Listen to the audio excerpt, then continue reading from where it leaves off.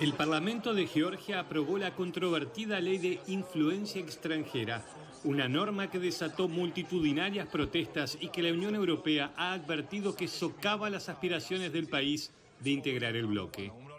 Los legisladores aprobaron por 84 contra 30 la ley en su tercera lectura en una sesión tensa en la que hubo enfrentamientos entre los parlamentarios oficialistas de Sueño Georgiano y la oposición.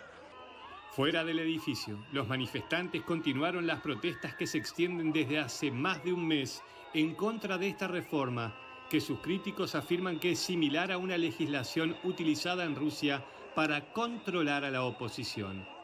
Cerca de 2.000 manifestantes, en su mayoría jóvenes, se congregaron frente al Parlamento y entonaron consignas como no a la ley rusa. La ley estipula que las ONGs y organizaciones de prensa que reciban más del 20% de su financiamiento del exterior se registrarán como entidades que sirven a los intereses de una potencia extranjera. La presidenta georgiana, proeuropea y enfrentada con el partido de gobierno, prometió que vetará la ley, pero el oficialismo tiene suficientes escaños para anular este procedimiento.